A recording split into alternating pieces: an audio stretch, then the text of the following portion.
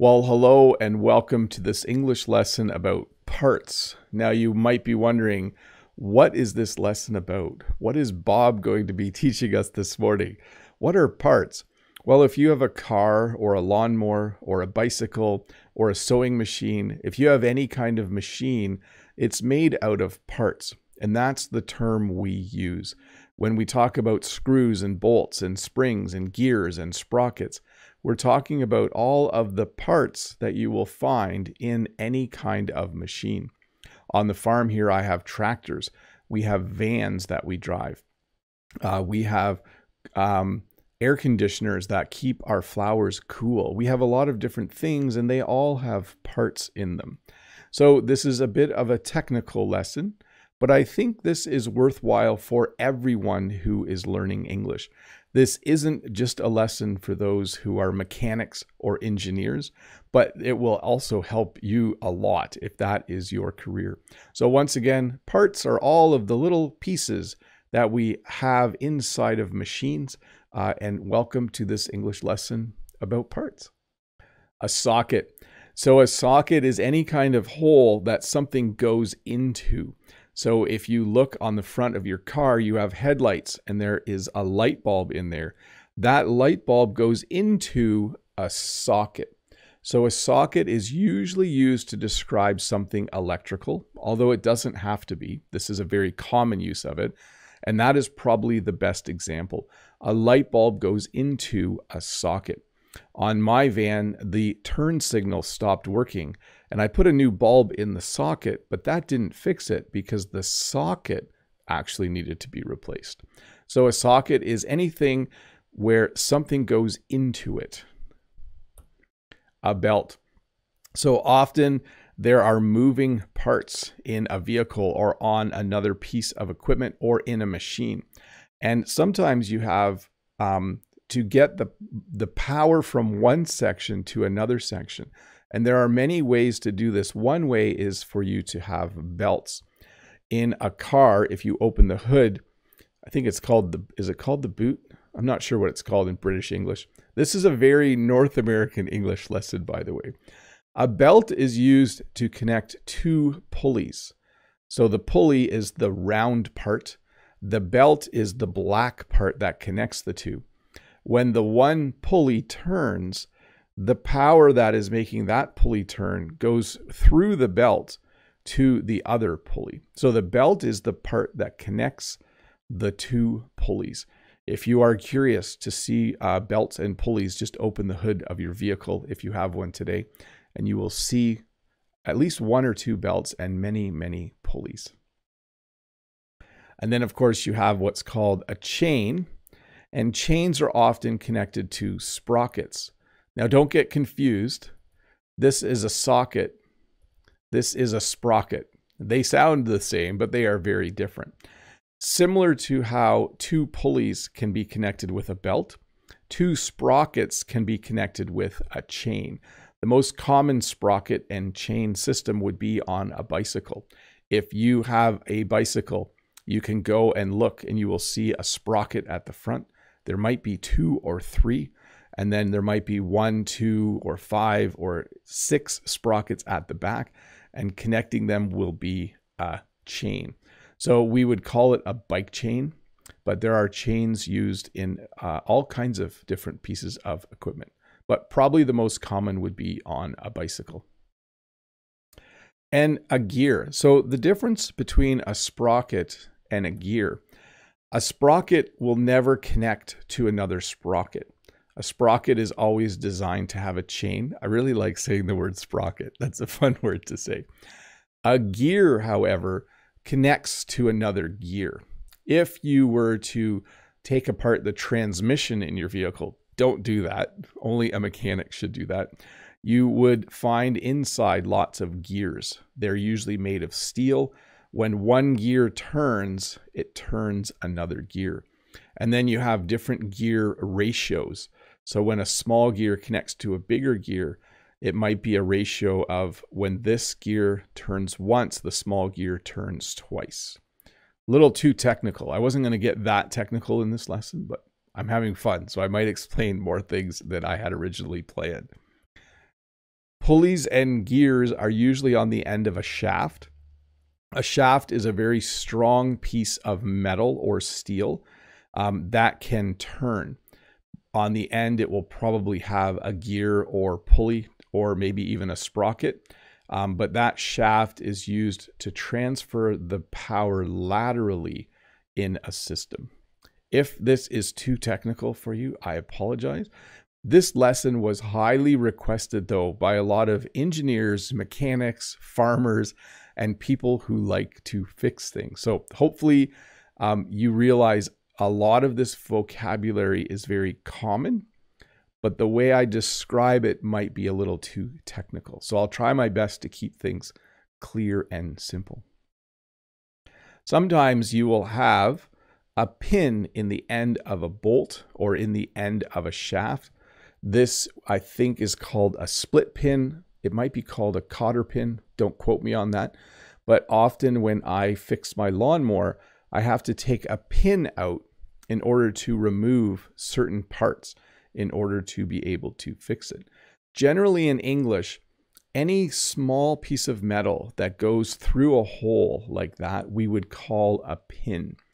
And you can also use it as a verb. Sometimes you need to pin things together. We talked about this in the lesson about things inside of other things. A bearing is something that we use so things turn smoothly. If you were to put a shaft through another piece of metal without a bearing, there would be a lot of friction and it would generate heat. But when you put a bearing in, it spins freely. Every tire on your car has a bearing at the center. On your bicycle, at the center of each wheel, there is a bearing. This is what allows those things to turn freely. And just a general description anytime we connect one part to another part with something like this, we call it a rod. A rod generally doesn't turn. It's usually used to just connect one piece to another piece. So if you have, um, these are called tie rods, they connect one piece of your front end of a car to the other end. So any kind of um, straight piece of metal that connects two things we would call a rod. And then the general term for anything else would just be a bar. So this piece of equipment has a long bar along the back. Um, if you were to look in the back of my S, my van, there is a bar that goes across. So this is probably just a general term that we often use to describe anything long that's between two other things. Arm. So anytime there is parts that kind of do the same thing that a human arm does, we call it an arm. My microphone is on an arm. Um, this microphone is on an arm. We don't call the part that bends an elbow or a wrist when we talk about this. We would simply just say, I have an arm to hold my microphone. This arm is connected to a mic stand. So the part that goes this way is a stand, but this part here, this part right here, I would call an arm. And then of course, some basic things. Anytime you uh, need to have electricity in a piece of equipment or a vehicle, you would use wires.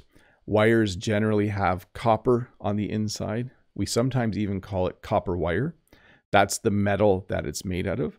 Um, but if you um, want your signal lights to work or your turning signals to work on a vehicle, there has to be a wire that goes to that light. And we would call this a harness. When you have a whole bunch of wires together and there is a connector on the end of some of them, we would call this here a harness.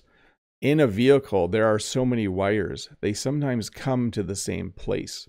When a whole bunch of wires come to the same place like this, we call it a harness or a wiring harness. This might be one of the uh, lessons or this might be one of the vocab words that's a little more technical. And then connector.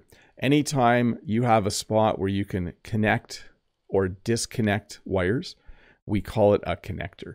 In Canada, if you hook a trailer up to a vehicle, there's usually a connector like this on the back. This is one of the styles. And you can use that to connect the electricity from the van or the car to the trailer. So sometimes at the end of wires, you will have a connector. And then, of course, there's cable. Now, we sometimes call this a cable. Sometimes a cable has electricity going through it. So cable and wire are sometimes used interchangeably in English. Like there's a lot of cables in my van. There's a lot of wires in my van. But we also use cable um, to talk about this type of thing. A cable is kind of like a metal rope or a metal string. Cables are almost always made out of metal or steel. They're very, very strong. And if you look, there's probably cables in a vehicle somewhere that connect things together so that they move at the same time. And then a strap.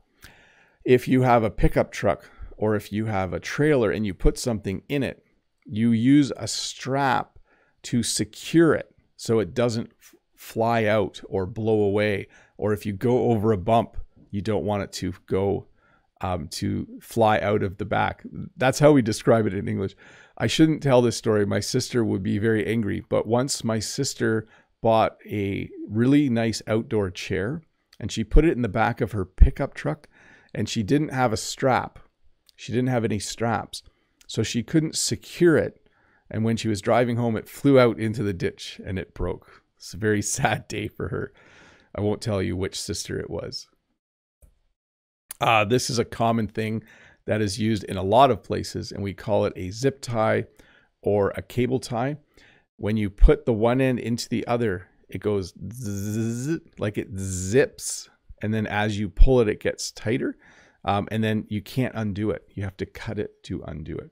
So often, when there are a lot of uh, wires in a vehicle or in a piece of equipment, there will be a zip tie holding those things together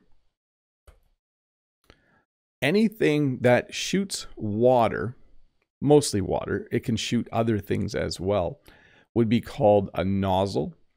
We have on our farm, in order uh, to deal with bugs, sometimes we have a sprayer and it has a nozzle at the end. So instead of the water coming out straight, it spreads it out. When you're driving your when you're trying to do windshield wiper, when you're driving your vehicle, and your windshield wipers are going, you can spray windshield washer fluid on them because there's two little nozzles. So when your windshield wipers are going, if it's not raining, you can shoot some windshield washer fluid through the nozzles onto your windshield. Magnets. So magnets are really cool things. They attract metal and sometimes magnets are used as parts for different things. I have a little door in my van that when I close it, a magnet holds it shut.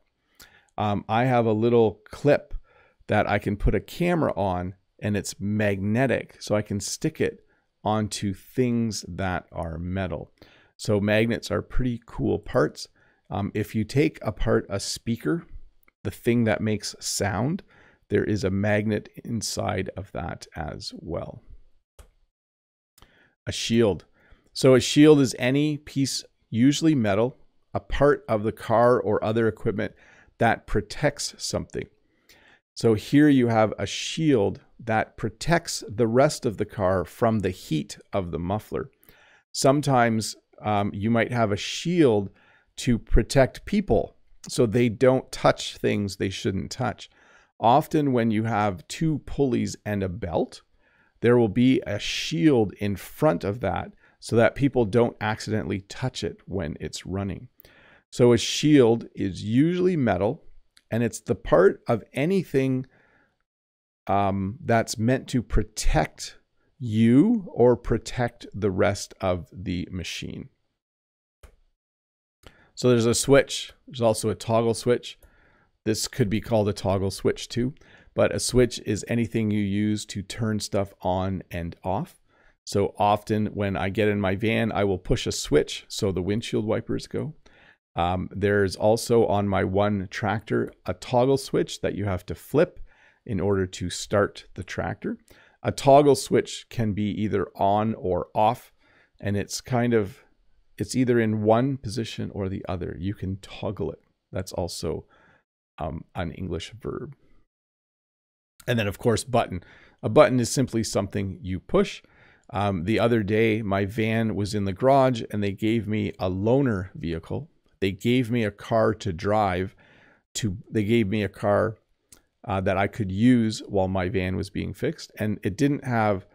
You didn't have to turn the key. You just pushed a button and the car started. It's really cool. I know most modern cars do that, but that was pretty fun for me. Um, and then normally in a car, I would call this in Canada, we would call this the ignition or the ignition switch. The spot where you put your key and turn, we call that the ignition. When you're trying to start a vehicle, you could say, turn the ignition, see if it will start. So the ignition switch goes from off to on, and then you can go one more, and that starts the vehicle and it goes back to on. But we would simply call this, I would simply call this the ignition. And then this caused some controversy last time I talked about it. I call this a lever. Some people call this a lever. Uh, I'm going to keep calling it a lever. Um, it's anything where it's it's like a rod that comes up with a handle, and it allows you to um, change a setting. Okay, so on my tractors in particular, there are a lot of levers, and those levers do different things. If you want to call it a lever, you can, but I'm going to keep calling it a lever. So, real quick, and then I will uh, do a few more questions. Here we go. This is a bolt. This is a nut. This is a wing nut. This is a washer. So, back to the beginning. A bolt has an end that you can put a wrench on. A wrench is a tool that you use to tighten a bolt. And the other end is threaded. That's the end where you can put a nut on. Okay. So if we look here, this is a bolt. This is the nut that goes on the end. This is a wing nut. You can tighten a wing nut by hand, but a normal nut, you need a wrench to tighten it. Okay, so a wing nut is just easier to do. Sometimes when a wing nut is really tight, you do have to use pliers to undo it, but a wing nut you can usually do by hand. And a washer is used uh, with a bolt and a nut just to hold things better or to add space or to make it stronger. And then sometimes we use a lock washer. A lock washer will actually stop the bolt from coming loose. It actually acts as a little spring to um, hold the bolt and nut together better. Um, I'm not going to explain all the details, but when you put a lock washer on with a bolt and nut, it creates outward tension, which holds everything in place. So again, this is a nut. It's on the threaded end of the bolt, okay? So this bolt is threaded. That's all of the grooves at the far end. The nut goes on to the threaded end.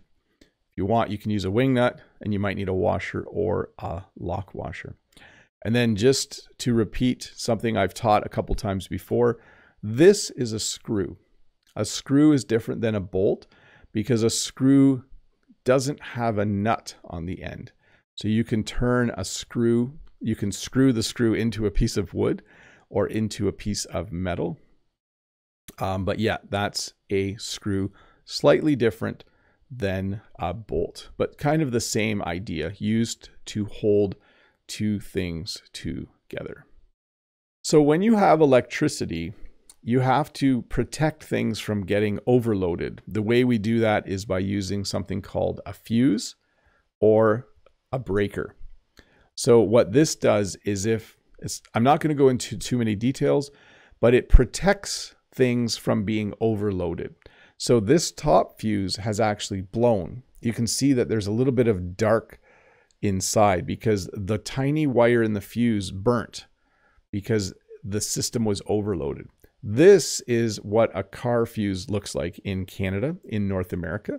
Sometimes on a car, your headlights don't work or your signal lights don't work, and you need to check the fuse box to see if one, you see the little fuses in there, if one of these fuses has blown. Okay, so once again, when a fuse is overloaded, the fuse will blow and you would need to check your fuse box. We also use these in our houses. Uh, in our houses, we used to have fuses in Canada 30 or 40 years ago, but now we have what are called breakers. It does the same job as a fuse, but you can reset it instead of replacing it, which is quite handy. So a little more technical, the rotor is the part of a brake that the, the shiny silver part. The caliper is the thing that grabs the rotor and the brake pads are inside the caliper because you don't want the caliper to wear out. So when you go get your brakes fixed, sometimes you need new rotors. It's rare, but sometimes the mechanic will say your rotors are warped or your rotors are getting thin. On some vehicles, you might also call this a disc. The caliper, when you press the brake pedal inside this red part, it grabs the wheel. You know how the brakes work on a bicycle? They work pretty much the same way on a car if you have disc brakes. It grabs the rotor and it slows the car down. And then here, the brake pads will slowly wear out.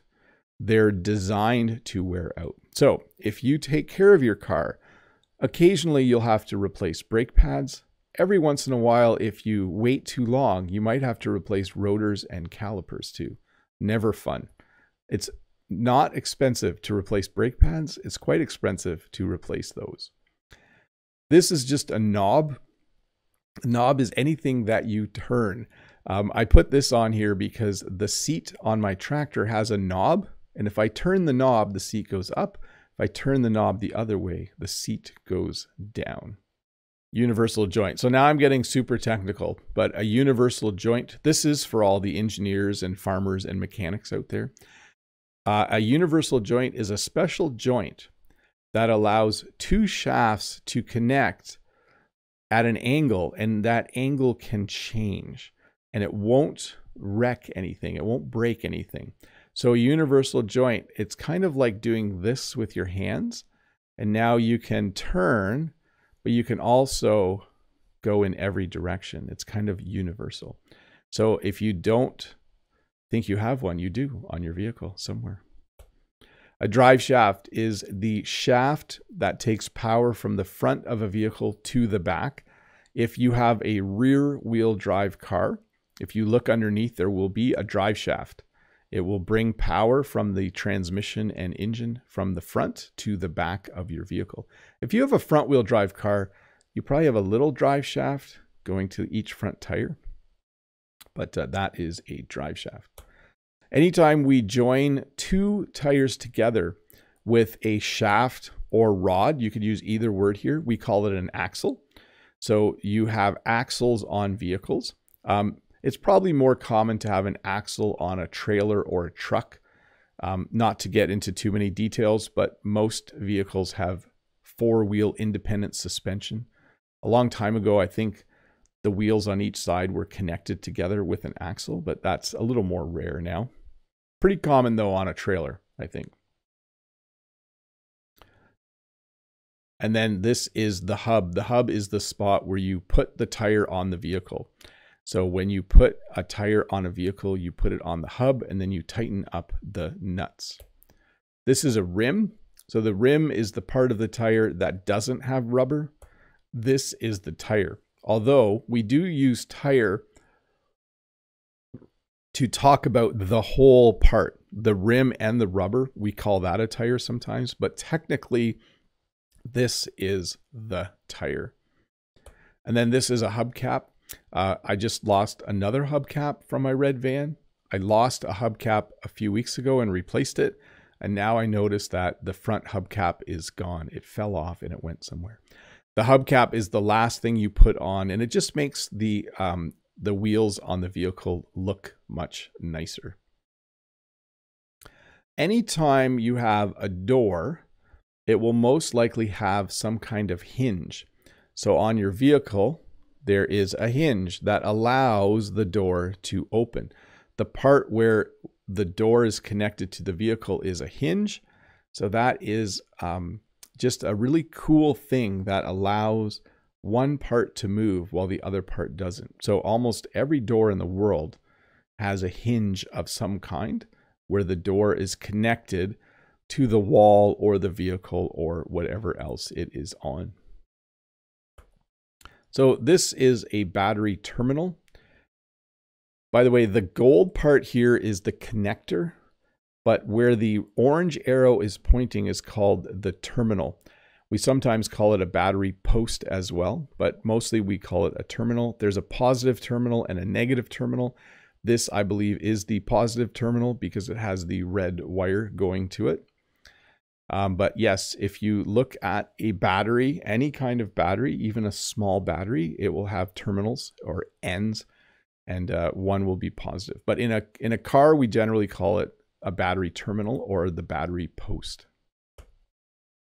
Sometimes you don't want stuff to get into a machine, so there is a screen in front. Screens are usually made out of metal, but they can be made out of other things you can see that this person was working somewhere where they didn't want grass to enter the machine. They didn't want grass to enter the tractor. So there is a screen at the front. This is different than, oh, this is different than, what happened there? Oh yeah, I got to do this. This is different than a filter. There, I'm back on track now. There were so many vocab words, I had to have two different slideshows. So anyways, a filter is usually made out of fiber or something a little more, a little smaller, and it's used to keep things clean as well. You can filter the air. You also can filter oil to keep it clean. But this is just a screen made of metal. It's usually on the outside. On the inside, you might have a filter to keep the air clean or to keep the oil clean. This is a spark plug. When electricity goes in one end, a spark comes out the other end. This is what allows your engine to run. If your spark plugs are working properly, your car will start and it will drive. It's the thing that ignites the gas and air mixture. So spark plugs are very important to have a good working vehicle. Uh, suspension is what we use to refer to everything that holds a tire on a vehicle. There are different parts though. There are springs and shock absorbers in your suspension. But this is a good word to know because if you do get a vehicle fixed, the mechanic might say, oh, you need to replace a shock absorber. Your back suspension isn't working properly. So again, suspension is everything that holds the tire on. The shock absorber, the spring, um, all of those parts are called the suspension. It's what makes the car smooth when you drive. And it's because there are springs and shock absorbers. It's a little different on each vehicle, but uh, that is what allows your car to be enjoyable to ride in.